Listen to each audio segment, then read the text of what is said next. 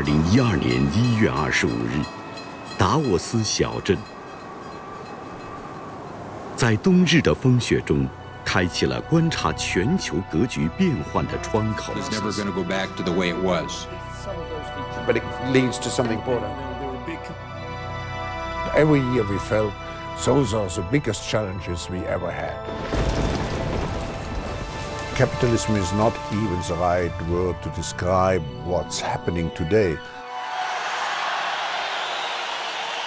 旧格局消解，新力量崛起，人类社会走到了历史的分水岭。在充满不确定性的世界变局中，谁能审时度势，提出变革？谁能大刀阔斧推行改革？谁能承担变革带来的阵痛？谁又能真正把变革进行到底？国家之间在相互打量。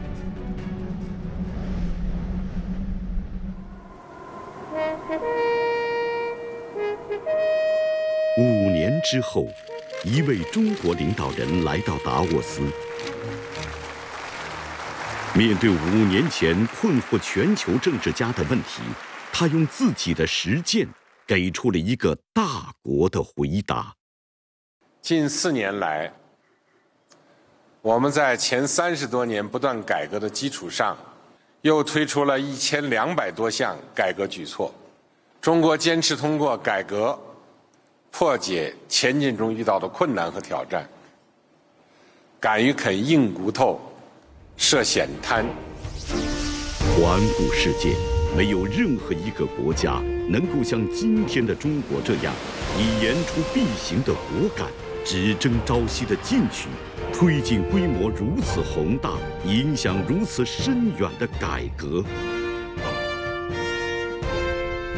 这条道路绝非坦途，更无捷径，唯有非凡的改革家和彻底的实干家，才能踏上这条攻坚克难之路。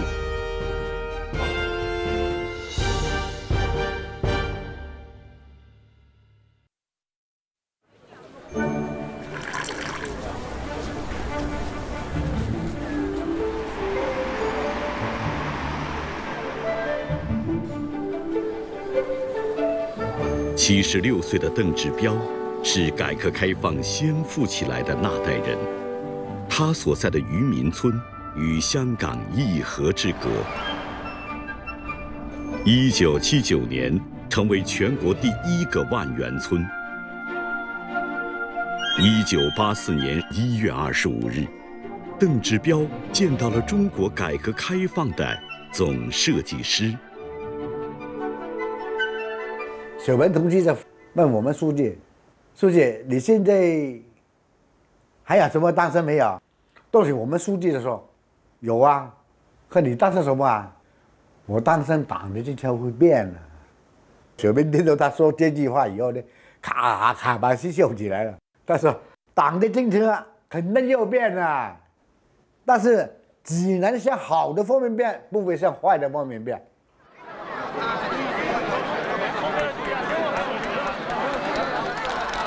时隔二十八年，邓志彪在渔民村见到了一位新的领导人。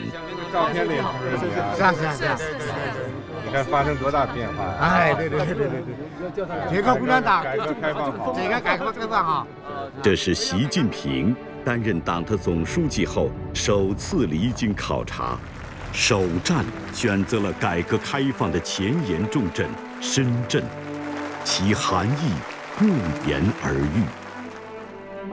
这个确实来这里啊，触景生情啊，啊。每每走到一些地方啊，我都想起当年的事情啊，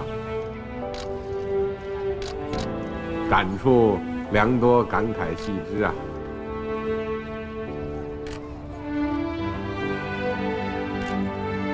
那么现在呢，我们也看到了，党中央做出的改革开放的决定是正确的。我们今后仍然要走这条啊正确的道路。富国之路，啊，富民之路，坚定不移，要坚定不移的走下去，啊，而且的话呢，要有新开拓，啊，要有要上新水平。而此时的中国，正面临着新的历史关口。改革开放三十年，中国奇迹令世界惊叹。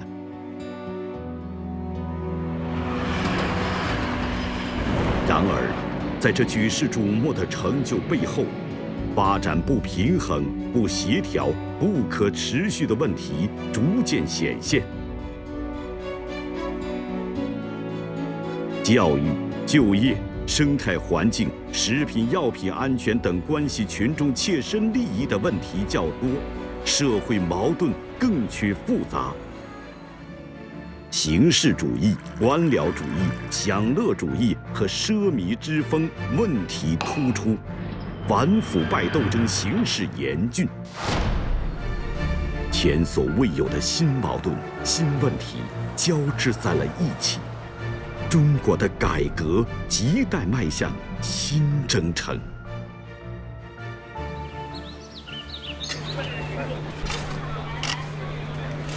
通过莲花山上的这一番讲话，习近平向全党发出了“改革再出发”的动员令。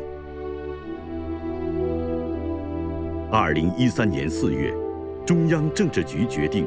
即将举行的党的十八届三中全会，将专门研究深化改革问题，并作出决定。改革千头万绪，习近平果断拍板，从三个方面集中突破：集中解决制度性的问题，集中解决社会矛盾比较尖锐的问题，集中解决。群众反映比较强烈的问题，以问题为导向，敢于碰硬，统筹推进，重点突出。习近平的改革决心坚如磐石，改革思路日渐清晰。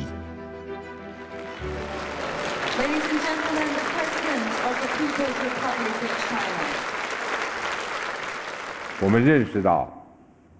改革是一场深刻的革命，涉及重大利益关系调整，涉及各方面体制机制完善。中国改革已经进入攻坚期和深水期，这是因为当前改革需要解决的问题格外艰巨，都是难啃的硬骨头。这个时期就要一鼓作气，瞻前顾后，未习不前，不仅不能前进。而且可能前功尽弃。二零一三年十一月，党的十八届三中全会在北京召开。这次全会通过了中共中央关于全面深化改革若干重大问题的决定。全会提出了全面深化改革的总目标：完善和发展中国特色社会主义制度。推进国家治理体系和治理能力现代化，同时亮出了全面深化改革的路线图和时间表，涵盖十五个领域、三百三十多项改革举措，被海外舆论称作当今世界最具雄心的改革计划。Oui, bien sûr, il y a beaucoup de réformes qui ont été lancées. Alors, dans le domaine qui nous occupe, du développement économique, c'est quelque chose qui est indispensable en Chine, mais d'une manière générale, indispensable dans le monde. J'ai eu le plaisir et l'honneur de rencontrer le président Xi Jinping plusieurs fois, et vous avez raison de citer l'expression leadership, parce que c'est ça qui frappe lorsqu'on le rencontre, c'est-à-dire à la fois l'attachement à son pays et la vision longue. 领导力的背后，是一个执政党领袖对这个国家的责任和担当。 改革面临的矛盾越多，难度越大，越要坚定与时俱进、攻坚克难的信心，越要有进取意识、进取精神、进取毅力，越要有。明知山有虎，偏向虎山行的勇气。图难于其易，为大于其细。天下难事必作于易，天下大事必作于细。在十八届三中全会闭幕那天，习近平把这句自己早年间在摆脱贫困、之江新语里都引用过的老子的话，送给了全党同志。二零一三年十二月三十日，十八届三中全会闭幕不到两个月，中央深改领导小组就宣告正式成立。习近平亲自担任组长。改革深处是多年沉积下来的固有做法，是相互牵绊的机制体制。是需要重新调整的旧的利益格局。没有强有力的指挥协调，没有全方位的协同配合，改革很难实现有效突破。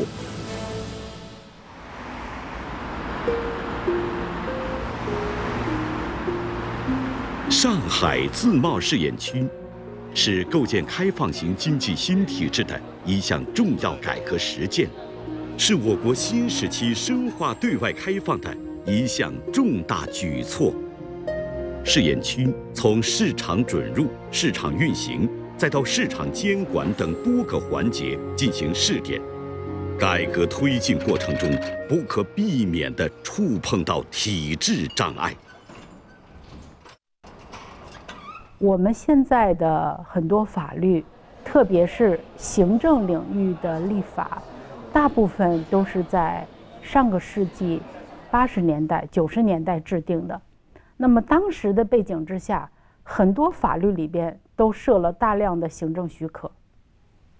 那么现在我们新一轮的改革，可能就面临着要取消这些许可。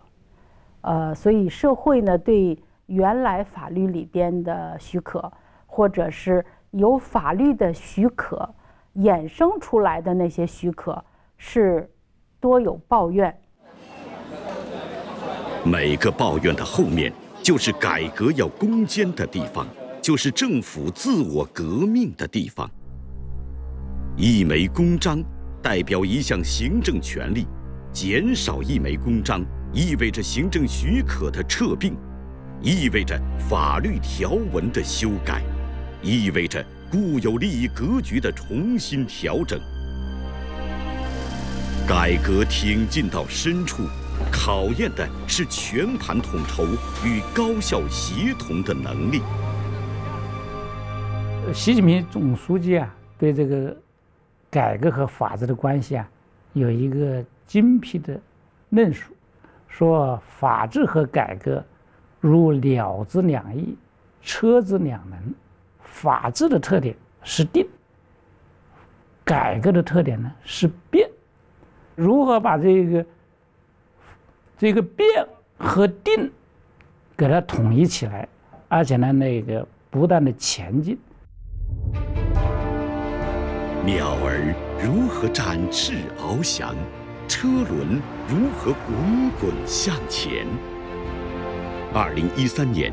全国人大授权上海自贸试验区暂时调整有关市场准入法律规定。二零一六年，根据两年多试验，全国人大修改了外资企业法等四部法律，推动负面清单管理模式等一系列重大制度创新，在全国复制推广。为配合党的十八届三中全会决定推出的一系列改革举措，全国人大新制定、修改和废止的立法项目就超过了一百件以上，真正体现重大改革于法有据。中央深改领导小组。负责改革的总体设计、统筹协调、整体推进和监督落实，平均一个月就召开一次会议。作为中央深改领导小组组长的习近平，从制定改革方案、总结改革方法到推动改革落实，都倾注了大量心血，体现了一名改革者的智慧和担当。我本人呢是这个长期在地方工作，由啊西部走到东部，啊由基层走到中央。我深知啊，中国在不同的地域、呃不同的层面所产生了这种不同的差异，所以考虑问题的话呢，一定要非常的全面，也要非常的辩证。处理中国的问题啊，要善于弹钢琴，要把握住分寸，呃，要注意处理好啊节奏和平衡。这个可能是呃我每天都要思考的一个很基本的。谢谢。非我其谁呀？为什么我们可以说习近平可以讲这句话呢？他经过很多这个灾这个灾难这的考验。其实现在回头才想的话，这也是对他很大的一个训练，所以他就能深知民间艰苦，深知中国社会的问题在什么地方。这是一场决定当代中国命运的改革，不仅事关中华民族的复兴梦想，也影响着世界的发展格局。国外三百年的工业化，我们现在三十年就基本实现了，啊，然后又要基本实现，呃，又不承担这个这样基约实现可能带来的这些副产品和付出的代价，这不可能的事情。二零一二年的中国经济，在经历了三十多年的快速增长后，增速开始持续下行。多个行业产能严重过剩，利润减少，环境事件频发，金融风险陡增。在湖北，习近平用石水性做比喻，告诉人们如何判断改革面临的复杂环境。只有潜心分析、冷静观察，发现规律。才能中流击水，勇立潮头。让我们以热烈的掌声，欢迎习近平主席发表主旨演讲。中国经济呈现出新常态，有几个主要特点：一是从高速增长转为中高速增长；二是经济结构不断优化升级。三是从要素驱动、投资驱动转向创新驱动。习近平的这一段话后来被反复引用。常态一词，描摹的正是中国这艘巨轮面临的新的水情。高速增长。这个过去几十年一直用来定义中国经济的词，被中高速增长取代，结构优化和方式转变，这恰恰是困扰中国经济最深层次的问题，也成为了经济领域攻坚克难的目标。经济发展方式的转变，呃，这个问题啊，已经提出很长时间了。但是一直转不过来，这是一个艰难的转变啊。首先呢，是要解决一个关键问题啊。过去三十多年，我们是高增长啊，所以高增长的这种观念、这种惯性，要调整过来不容易，面临着很多新的挑战难题啊。比如说我们现在讲的过剩产能的啊，呃，这样一个调整，你必须有针对性的啊来进行破解。二零一三年，习近平曾经算过这样一笔账。他说，一吨钢的利润现在值四角多钱，去年值一瓶矿泉水，再往前值两斤猪肉，以前还值一部手机呢。就这个附加值含量要那么大的产量，有多大意思呢？造成的资源消耗、污染、排放那么大，这个账要算清楚啊！不仅钢铁，多个工业企业产品积压，利润下降。与此形成鲜明对比的是，二零一二年起，中国人出境消费突破一千亿美元，居世界第一。变化了的需求和跟不上需求的供给，背后折射的是经济结构的巨大失衡。二零一五年十一月，中央财经领导小组第十一次会议上，“供给侧结构性改革”一词首次出现在了总书记的讲话中。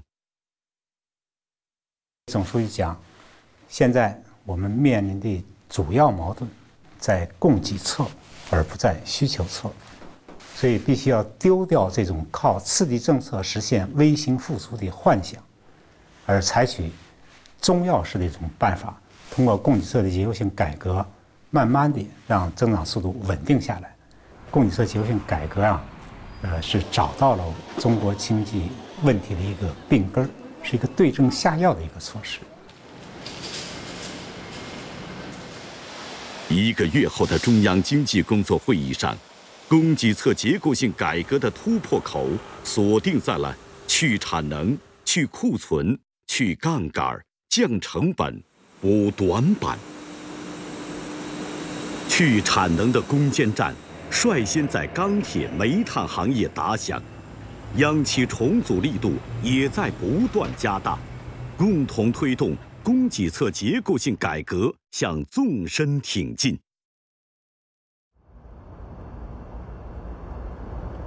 二零一七年四月，武汉钢铁集团公司的大红色招牌被拆除。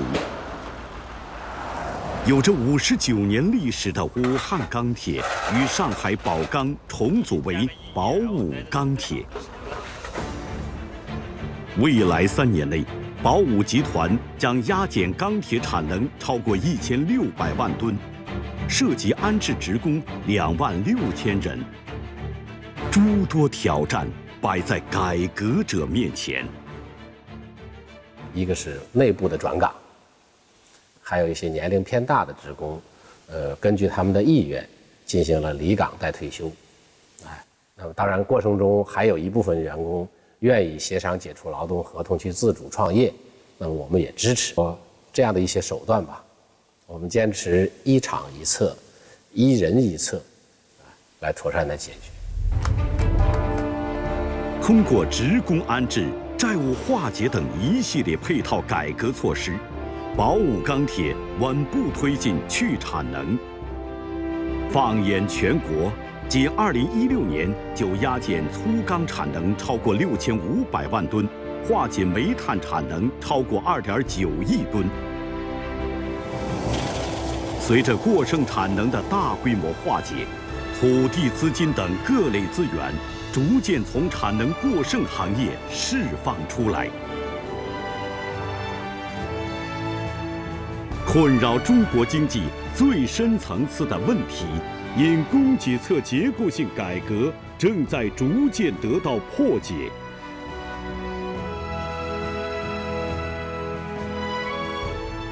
当供则供，不当供则消，这就是供给侧改革要做的事情。从出于低端有的形象，啊，出于产业挖菜袋的形象，要往上走，否则这个国家的生产能力啊。不够，大而不强，靠什么？能看到的、有效的，就是新动能。新动能靠的是？靠的是创新。党的十八大以来，创新被定义为引领发展的第一动力，创新列为五大发展理念之首。被摆在国家发展全局的核心位置。创新驱动发展战略，成为引领中国经济更换动力的顶层设计。围绕创新，一系列改革举措相继出台，在完善顶层设计的同时，更瞄准束缚科技创新的机制体制弊端，不断发力。啊，一三年的时候，啊，这个财政部统计了一下，啊，大概有三十多个部门，一百多条渠道，啊，来分配这。这一共是一千多亿人口的这个科研经费，分散、重复、封闭，啊，造成了低效，这是一个实实在在所在的问题。我们在这个中央深改办的指导下，啊，过去一百多个渠道合并成了五类，那么三十多个部门在部级联席会议的平台上，共同去研讨未来发展。和我们当前需求所需要的一些重点领域的重点部署，条块分割被打破，资源不断被整合。党的十八大以来，科技成果转化、股权激励、知识产权等多个关键领域的改革实现突破。通过制定国家实验室发展规划、运行规则和管理办法。牵头组织国际大科学计划和大科学工程等一系列改革举措，加强基础研究，增强原始创新能力，一大批重点领域实现重大突破。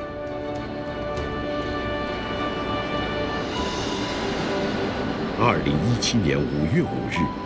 凝聚着国人梦想的国产 C 九幺九大型客机首飞成功。这个历经九年自主研发的新型商用大飞机，既实现了中国人自己制造大飞机的夙愿，也为中国航空工业乃至整个高端装备制造行业开启了崭新的未来。然而，这一刻的到来却是异常艰难坎坷。大飞机项目的研发，不仅涉及现有体制机制的突破，而且还有部门利益的牵绊。尤其一些关键点的突破，更需要整合多方资源，共同推进。这是商飞公司的虚拟仿真实验室。大飞机很多系统集成关键实验数据，都在这里验证和完善。要建起这样一个实验室，却面临着意想不到的困难。我们要进行那个虚拟实验，它要完整的模拟一个飞机，它就必须实施多学科、啊多领域的综合集成。我们有资金的问题，有技术的问题，那么这一块的话呢，单凭我们中国商飞这一家自己做的话呢，肯定是有困难。像这样的困难，在研制大飞机过程中还有很多。每到关键时刻，大家都能感受到一种推动力。总书记非常关心大飞机事业，曾先后对大飞机的发展和建设做过八次批示。在这种关键的时刻、关键的环节，让我们能够得到全国的支持以及全球的力量的融合。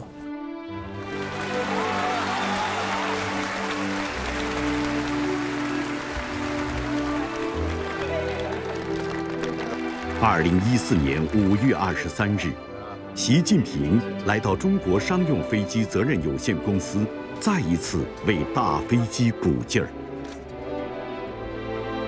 我们要做一个强国，啊，那么我们一定要把我们自己的装备制造业搞上去。我们这个看过去啊，飞机这一项还是短板，所以的话呢，这个一定要把飞机搞上去。飞机搞上去，它是一个啊，整个的这个装备制造业啊，一个综合实力的水平的体现，啊，牵扯到方方面面。它起到了一个带动作用，也有一个标志性作用。不仅是大飞机，改革的力量正在重新定义中国制造的内涵。整个产业链条中附加值更高、技术含量更高、污染和排放更少的战略性新兴产业，保持着年均百分之十以上的增长速度，在工业中实现领跑。在我国的出口总额中，无人机、智能手机等中国制造的高科技产品已经占到三成。改革的力量正在为中国经济更换新的动能。共享单车改变着人们的出行方式，网购以每年百分之三十六点四的速度在增长。移动支付催生了无现金城市，新产业、新业态、新模式的经济增加值超过 GDP 的百分之十五。简政放权、放管结合、优化服务的改革释放出新活力。每一天，中国就有一万五千多家新的企业诞生。改革的力量正在撬动着中国经济结构发生前所未有的变化。服务业跃升为第一大产业，成为经济增长的新引擎。四年提供了六千多万个就业岗位。改革要解决发展问题，更要解决发展为了谁的问题。户口原来分为农业和非农业两类，它在城乡之间划开一条巨大的鸿沟。围绕这个小本子，中国展开了一场涉及复杂利益的改革。张胜辉，湖南人，二十多年前来到珠三角务工，如今一家十口人也都跟着他来到这里落脚。没有城市户口，让这个上有老下有小的家庭日子过得有些沉重。当时小孩在两岁多的时候就比较担心，啊，压力也蛮大，到处去找人。我甚至也打过一些啊电话去了解，怎么样才能够把这个户口迁进来，根本享受不到这边的一些政策。由于你没有户口的话，你不知道去哪里上户口，所以我们就当时非常的苦恼。老家回不去，城里留下难。他们面对的也是2.8亿农民工共同面对的难题。这是一项牵一发而动全身的改革，没有经验可循，利益错综复杂。户籍制度改革，如果说是公安在户籍上做改革。那是很方便的事情，但是由于户口背后负载着太多的利益，关系到众多的领域，他就需要配套改革，这是总书记、党中央在亲自抓的。如果仅仅是靠公安部门，是推不动的。为了这二点八亿人的福祉，改革再难。也要向前推进。早在福建工作期间，习近平就表示，绝大多数在城市务工的农民并未真正融入城市，造成这一问题的根本原因是户籍制度的限制。政府应理智而又勇敢地面对这一现实，大胆进行户籍制度改革。中共中央总书记、国家主席、中央军委主席、中央全面深化改革领导小组组长习近平，六月六号上午主持召开中央全面深化改革领导小组第三次会议。会议审议了关于进一步推进户籍制度改革的意见。二零一六年九月，全国三十一个省份均已出台户改方案。全部取消农业户口，统一登记为居民户口。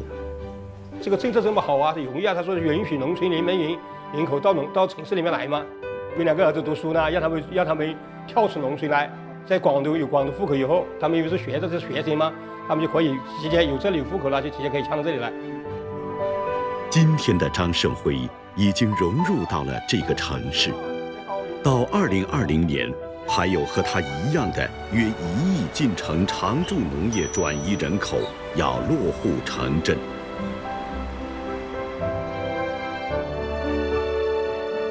二零一四年，在给全国党委秘书长会议的批示上，习近平写下这样一段话：“崇尚实干，狠抓落实，是我反复强调的。如果不沉下心来抓落实，再好的目标，再好的蓝图，也只是镜中花，水中月。”为此，习近平要求所有党员干部。要以钉钉子的精神，抓好改革落实。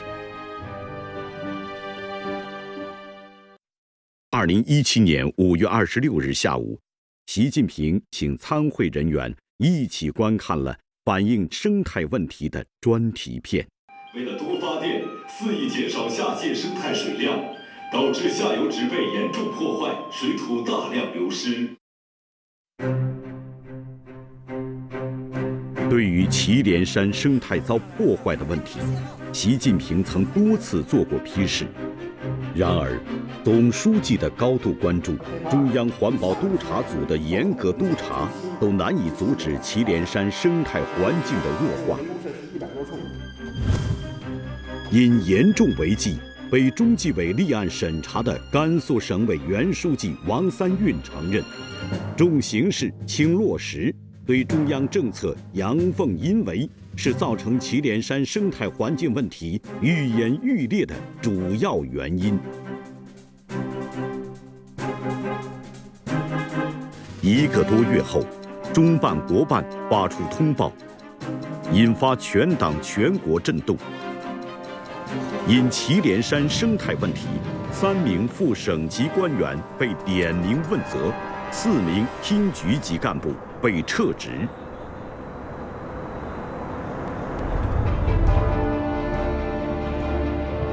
在严厉问责的同时，习近平要求改革推进到哪里，督查就跟进到哪里。督查工作和全面深化改革各项工作紧密协同，始终是以习近平同志为核心的党中央常抓不懈、不断深化细化的。关键一环，从定规划到建机制，从抓重点到促全面，从中央推动到打通最后一公里，精准用力，步步为营，全面深化改革，不断向纵深推进。在十八届三中全会闭幕时，海外舆论。对中国一揽子提出的三百三十六项改革任务，曾不乏怀疑之声。如今，他们的评价是：没有一个国家能像当今中国这样，以一种说到做到、只争朝夕的方式推进改革。二零一四年，中央深改领导小组确定的八十个重点改革任务基本完成。各方面共出台三百七十个改革方案。二零一五年，中央深改领导小组确定的一百零一个重点改革任务基本完成，各方面共出台四百一十五个改革方案。二零一六年，中央深改领导小组确定的九十七个重点改革任务基本完成，各方面共出台四百一十九个改革方案。二零一七年上半年，中央深改领导小组已审议六十多个重点改革文件。非凡的历程，伟大的改革。伟大的事业之所以伟大，不仅因为这种事业是正义的、宏大的，而且因为这种事业。不是一帆风顺的。党的十八大以来，以习近平同志为核心的党中央坚定不移全面深化改革，广大干部群众积极投身改革，汇聚起推进全面深化改革的磅礴伟力。改革成为中国共产党的鲜明旗帜和当代中国的时代特征。许多长期想解决而没有解决的难题，因改革而得以解决；许多过去想办而没有办成的大事，因改革而得以办成。五年来，经济体制改革提及而不稳。在全面深化改革进程中发挥牵引作用。中国的经济结构和发展方式正在发生历史性转变，中国经济正朝着更高质量、更有效率、更加公平、更可持续的方向发展。五年来，政治体制改革始终沿着正确方向推进。坚持党的领导，人民当家作主，依法治国，有机统一；坚持和完善人民代表大会制度、多党合作和政治协商制度、群团改革等，为中国政治生活带来更多活力。五年来，文化体制改革紧紧围绕建设社会主义核心价值体系。社会主义文化强国不断深化，通过改革驱除了制约文化发展的体制弊端，理顺了文化生产的内在机制，文化领域的面貌焕然一新。五年来，社会体制改革紧紧围绕更好保障和改善民生、促进社会公平正义开创新局面。扶贫、医疗、教育、社会保障、户籍制度等领域攻克一大批改革难题，让人民群众有了更多获得感。五年来，司法体制改革作为全面依法治国的重要组成部分，破冰前行。司法责任制以审判为中心的诉讼制度。司法便民利民等一系列改革快速推进，有力地回应着百姓对公平与正义的呼唤。五年来，生态文明体制改革紧紧围绕建设美丽中国迈上新台阶，绿色发展理念日益深入人心。长期困扰我国的资源消耗强度大。环境污染严重、生态系统退化的严峻局面已得到初步扭转。五年来，党的建设制度和纪律检查体制改革紧紧围绕提高科学执政、民主执政、依法执政水平展开。在改革的推动下，党的思想建设、组织建设、作风建设。反腐倡廉建设和制度建设整体跃升。二零一七年九月三日，习近平在厦门出席金砖国家工商论坛并发表主旨演讲。他向与会者谈到了五年来这场波澜壮阔的改革。不可否认的是。随着中国改革进入攻坚期和深水区，一些深层次的矛盾和问题凸显出来，需要下大决心、花大气力加以破解。中国有句老话，叫“良药苦口”，我们采用的。是全面深化改革这剂良方。这五年来啊，我们采取了一千五百多项改革举措，推动改革呈现全面发力、多点突破、纵深推进的局面。事实证明，全面深化改革的路走对了，而且我们要继续大步的走下去。改革只有进行时，没有完成时。历史已经证明，并将继续证明，中国共产党人和中国人民从来不畏难、不怕碰硬，而是有着迎难而上的坚定决心和攻坚克难的必胜信心。以习近平同志为核心的党中央，将团结带领十三亿多中国人民，继续高举改革旗帜。站在更高起点，谋划和推进改革，坚定改革定力，增强改革勇气，总结运用好党的十八大以来形成的改革新经验，再接再厉，久久为功，将这场深刻改变当代中国命运、深刻影响人类发展进程的改革。进行到底。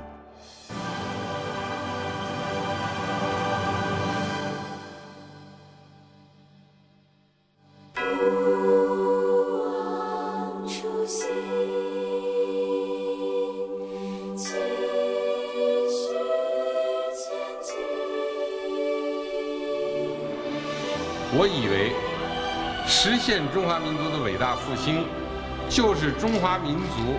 近代最伟大的中国梦。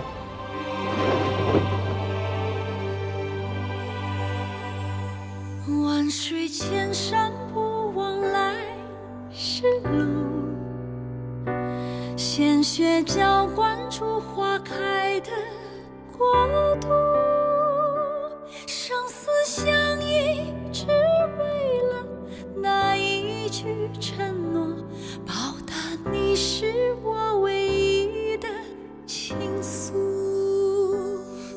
高千尺，根深在沃土。你是大地，给我万般呵护。